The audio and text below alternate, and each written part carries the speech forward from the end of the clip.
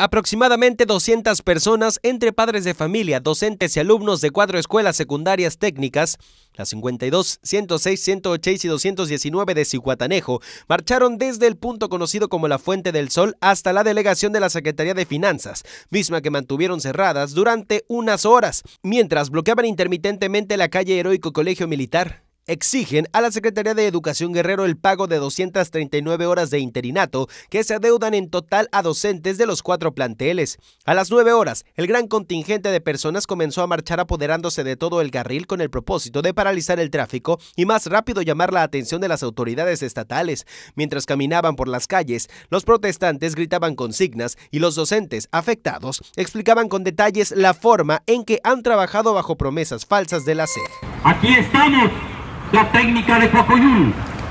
Aquí estamos, la técnica del embalse. Y también estamos, la técnica del Infonavide local. Son más de 200 horas de deuda. Y no es posible que las autoridades, hasta la fecha, no han resuelto nada. Meses y años de adeudos, todavía la autoridad no se haga responsable del pago a los maestros una vez que el contingente arribó a las oficinas de finanzas, impidieron la entrada de los contribuyentes. Posteriormente, colgaron lonas y pancartas sobre la barda perimetral, mientras que otros bloquearon la calle Heroico Colegio Militar de forma intermitente. Ahí realizaron un mitin para dar a conocer a la sociedad el porqué del movimiento y relatar una a una las mentiras de la Secretaría de Educación Guerrero, porque pese a que se hacen los trámites protocolarios, no tienen ninguna respuesta. Después de eso, se retiraron del lugar. Este plantón, pero el gobierno no entiende de otra manera. Hemos estado haciendo gestiones durante mucho tiempo y no nos escuchan. Están esperando que hagamos ese tipo de actos para que nos volteen a ver. Así que por eso estamos aquí. Queremos que nos den solución inmediata. Nuestros hijos no están recibiendo clases. Este paro definido. Por favor, ¿de qué manera hacer que hagamos nosotros que ustedes nos entiendan?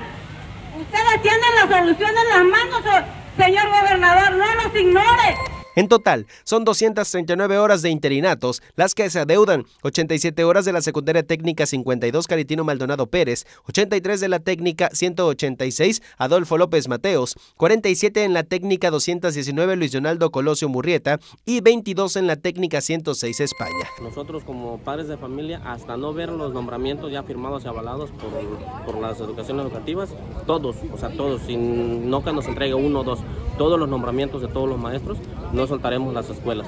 El paro es por tiempo indefinido. En entrevista, los representantes sindicales de las secundarias dieron a conocer que la noche del jueves 12 de marzo, cada plantel recibió soluciones parciales, es decir, la autoridad les ofreció unas cuantas horas para que se liberaran las escuelas. Sin embargo, rechazaron el ofrecimiento porque no beneficia a todos los profesores afectados. Incluso, consideran que la propuesta solo soluciona el 10% del problema, por lo que se mantiene la postura de no disipar el movimiento en tanto el de Educación Arturo Salgado Uriostegui o el director de Administración de Personal Genaro Sánchez Espinosa les entregue los nombramientos correctos a los maestros. Eliud Patiño, Mega Noticias.